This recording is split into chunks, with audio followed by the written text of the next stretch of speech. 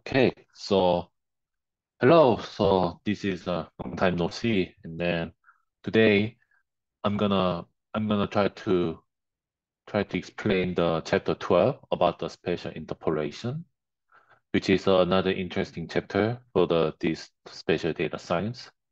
So as you can see here, spatial interpolation is actually kind of estimating the value of the spatial continuous variable for the spatial location. So that means maybe, for example, there is a, some kind of a like a, this kind of boundary, and then uh, there is a, some of the measure, some of the location we actually do the actual observe, observe something or measurement.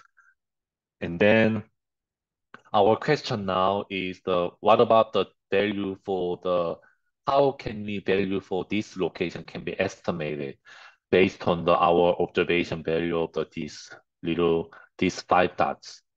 So how how these five dots gonna be affected to determine the this kind of a value? Actually, usually depending on the distance, distance between the this point and this location, observed location. So literally it's a kind of a predictions and then a kind of a simulation of the continuous phenomena so by using the, these kind of things, we can actually estimate any random location points like this. And then whenever we try to do the do these things repeatedly and then continuously, maybe all of the these our boundary, uh, our spaces within the this boundary, all of the all of the value in the random location within the this space can be estimated the value can be estimated, right? That's the how spatial interpolation is about. So it is actually kind of a missing value problem, also predicting and estimating the value based on the our observations at the, some some specific locations. So actually, chapter 12 will discuss about how we can do these kind of things, right? So we're gonna start. We're gonna discuss about the kriging things, and then as an interpolation techniques, one of the most commonly used kind of a technique is the kriging. And then uh, we also try to deal with uh, maybe what is called the inverse distance weight method for the as a kind of a spatial interpolation method. And then the kriging is a kind of like a more more kind of like a, uh, considering the more external factors or external noise variable to estimate the some of the some of the values for the any random location within our spatial boundaries. So that's what the spatial location is about. And then when we scroll down here, in here, in this example, actually they uh, authors presents about the NO2 measurement for the, these are the actually each station. Maybe I would say about the weather station. And then each weather station locations, they actually measured about what is called the NOT, NO2, like a nitro, nitro di, uh, dioxide kind of a concentration level gonna be tested. And then when we mapping these things, it looks like this. So maybe dark blue means it's the high, uh, less concentrated, and then the light blue is the highly concentrated NO2 kind of area. So it is a kind of a station location that measure the NO2 kind of a level uh, in the German uh, German uh, country. So in German, so in Germany. So I would say, and then uh, we if we want to interpolate, this is a very important word. So we if we want to interpolate, we need to decide where we want to go. So maybe do we do we want to estimate the sum of the NO2 level in here, or maybe in here, in here? So, so these kind of, depending the where we have to estimate the, those values actually determines about the, how we can interpolate these kind of values. Okay. So let's go scroll down. So one of the commonly straightforward kind of a method is the what is called the inverse, inverse uh, inverse distance weighted interpolations. Hello. So. Hello. Yeah. So I just started, so you can just yeah, watch these things. So actually, okay, for maybe for her, maybe I just briefly explain about the spatial interpolation is the matter of a prediction of the missing missing value. Okay, and then and then we actually try to talk about the first example about the, these things. So each each point represent about the station location, which measure the this kind of a nitro dioxide kind of a level, concentration level. And then uh and then what we can do is uh what our next question is how we can estimate the value of the NO2 level in here, or maybe in here, or in here, or in here, like a uh, random locations how we can define the, those kind of uh, estimate value depending on the these measurement locate measurement at the station locations. One of the very straightforward method is what is called the inverse distance weighted interpolation method here. So it's a kind of a weighted kind of a distance. Usually this weighted is a kind of a difference between the distance uh, from the between the those two points. And then based on that, what is the basic assumption of the inverse distance method is maybe here is the kind of our observed point location point, and then this is where we wanted to estimate the value. Maybe closer, close, close, uh, the location with the close, close to the this location, the station with the close to the this location can be affected the value of the this random locations. So maybe in this one, for example, it is a, a little bit far away from the this location point. That means this value of the these locations can be less affected to the determine the value of the these locations. Do you understand what I mean? That is what is called the inverse distance method. So depending on the distance from between the those two between the points, that actually determines about the estimation of the value and then how how how those things those value gonna be estimated.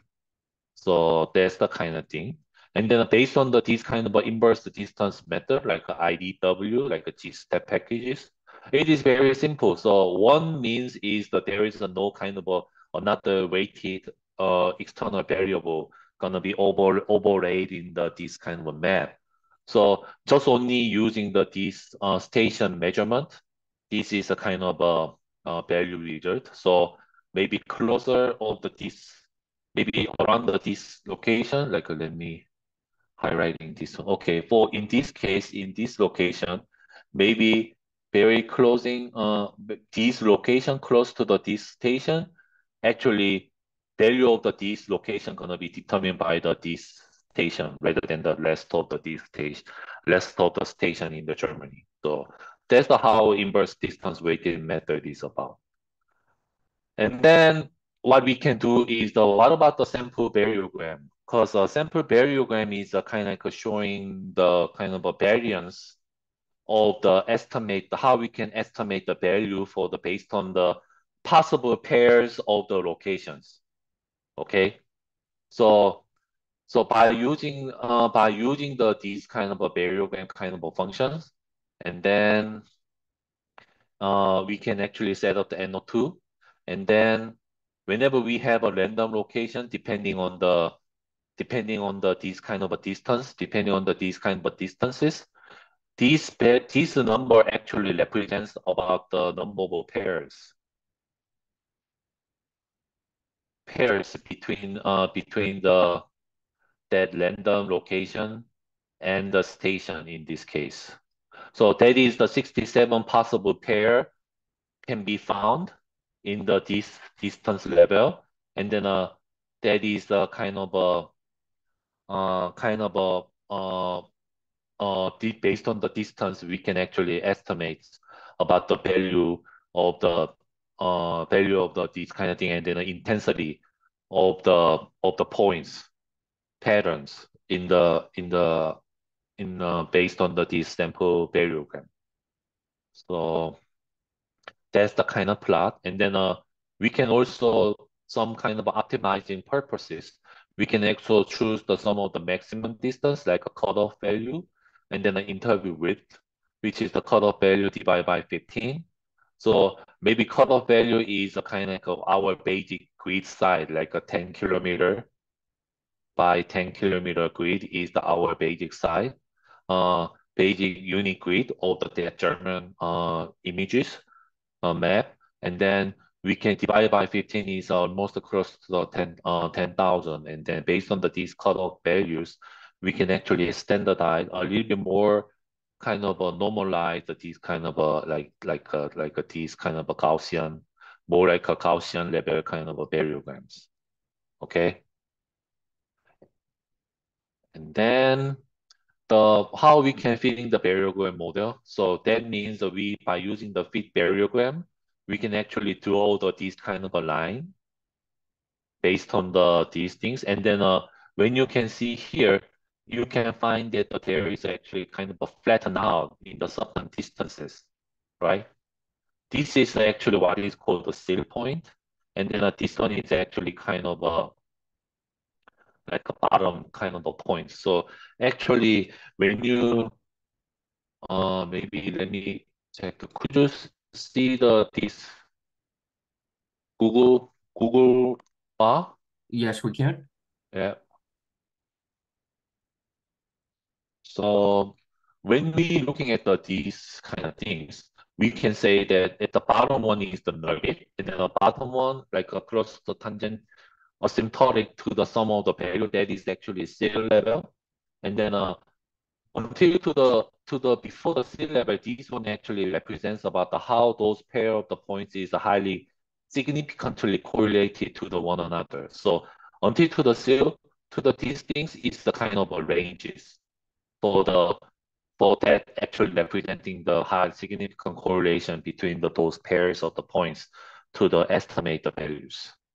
Okay, so these are the kind of a basic structure of the variation uh, variogram plot. It is not explaining here, so I just presenting those things to you. And then, and then next one is a kind of a kind of a Kriging kind of an interpolation. So this one is a kind of a more kind of a commonly or still um, commonly used for the technique when we try to estimate the some of the value in the some random specific locations. So in here, as you can see here, by using the some of the Krige functions, you can actually like uh, like we did for the same thing for the inverse distance method, we can actually easily estimate about the predicted value of the NO2 level throughout the, those kind of base, uh, basic station points. But the thing is, what is the good about the uh, is we can also aggregate the, those kind of uh, station kind of uh, values as a kind of a mean or maybe mode or median value. And then after that, by using the, those kind of aggregate value, we can actually creating the another Kriging value, like an aggregate value. So that is what is called the block Kriging, which means rather than the rather than the estimating about the, these values as a kind of a random locations across in the continuous continuous spaces, we can actually aggregate the, those kind of a, uh, value based on the, some specific boundary blocks, like uh, their states within the Germany. So maybe if we can aggregate the, our measurement measured value by the these these uh, states within the German uh, in the Germany, and then we can actually creating the those value depending on the those uh, those aggregate kind of uh, values. And then when we try to looking at the, some of the standard error kind of things to to validate the, those kriging estimated, as you can see here, in terms of the sample, just simple sampling mean of the standard error and then the Kriging one, you can see the Kriging one is the produced the much better fit compared to the simply sampling or averaging of the observations. Because the Kriging actually consider about the weighted distance between the pairs, possible pairs of the location to measure the any random location value estimates.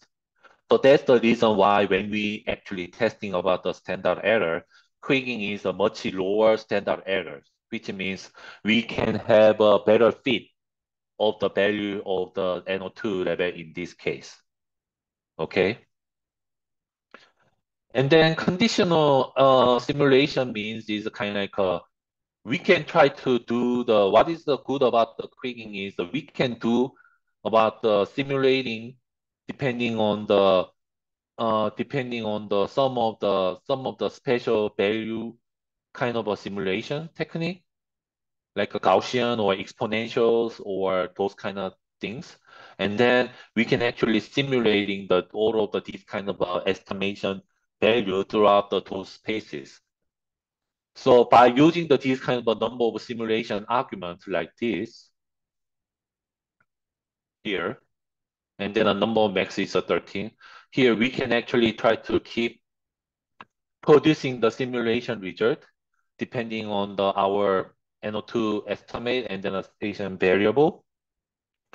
And then we will we will find that there is a still kind of a specific pattern gonna be constant in this case concentration of the NO2. Like uh, for example in here, right? These are the kind of all of the general common pattern we can find about the most of the these regions actually regardless of the number of simulation this region has a kind of a high concentration of the NO2 or maybe up here right yeah maybe there is some kind of a slightly differences between the estimating here at the bottom one because the simulation 3 and 5 actually estimate about the highly concentrated value for this, but maybe the other the other four simulation actually have a, a little bit lower kind of estimates of the uh, of the those NO2 concentrations depending on the simulations. Okay. So throughout the, these kind of a repeated iteration of the, these simulations, we can actually find about find that the how kriging is the can be valid, our kriging result can be validated across to the different iteration process. And then uh, those are the actually kind of uh, another kind of a techniques about the how we can validate our uh our kriging estimation result. Okay. And then what is the trend model means? Actually, it is about the okay, so far we only estimate about the only using the NO2 concentration of the station location, right? But the thing is, we can also thinking about the maybe NO2 gonna be mostly caused by the traffic, and then the traffic can be determined more intense in the densely population area. In that case, maybe either traffic congestion level or maybe population density level can be affected to the NO2 level, right? Because uh, then what is the trend model for the kriging do is if there is uh, other external factors that we think gonna be affected to the our outcome estimation. In that case, we can actually include those kind of a variable as a external fact control factor to estimate the, our outcome uh, outcome uh, as, uh, outcome values. Okay, so so to what how how we can do that? It is very simple. Just kind of a in this in this part is uh, just kind of a showing the kind of a sample, uh, just kind of a special uh, special data processing that we already know about the previous section sec, uh, chapters, and then we can actually plotting the some of the uh, density kind of uh, estimations in here like this. And then we can overlay this one to the NO2 kind of uh, estimation values. How we can do that? It is very simple. We just try to analyzing the this regression model. And then after that, we just kriging it here. Like NO2 is actually also have a weighted by the this square root population density.